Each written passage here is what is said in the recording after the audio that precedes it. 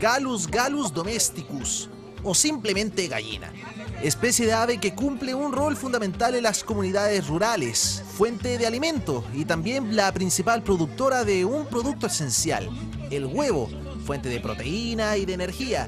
Diferentes son las variedades y tipos. Pero, ¿qué diría si le dijera que a veces se generan intercambios de huevos y gallinas? ¿Lo sabía?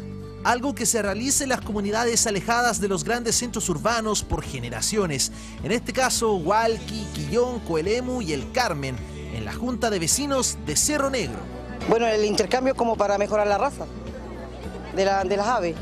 Y, es bonito que se hagan esta feria porque nos da la oportunidad de hacer los intercambios. como nosotros tenemos nuestras avecitas en el campo, que son nuestras regalonas, porque nosotros somos una familia.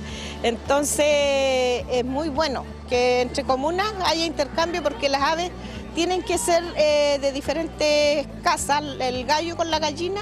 Eh, yo también traje huevitos y me comuniqué con la señora de acá y, y ya lo cambié. cambiar la raza. Porque yo tengo gallinas común y corriente, ¿no? Pero el intercambio es solamente una parte. La idea también está en el cuidado de aves. Por lo mismo se desarrolló una serie de charlas para informar sobre la gripe aviar y el correcto cuidado de esta especie. Muy contenta de que se realice una actividad como esta.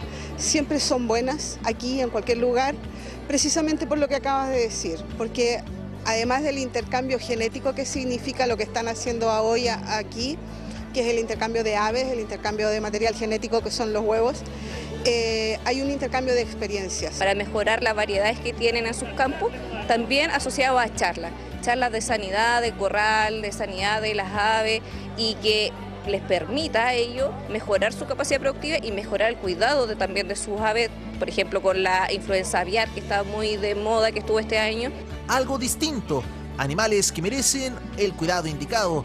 Prácticas que permiten un mejor desarrollo. Desde Ñuble, un ejemplo.